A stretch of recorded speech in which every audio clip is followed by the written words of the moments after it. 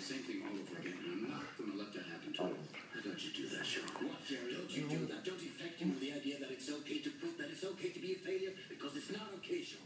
And if you're angry at me for being being successful, for being what you could have been, Sean,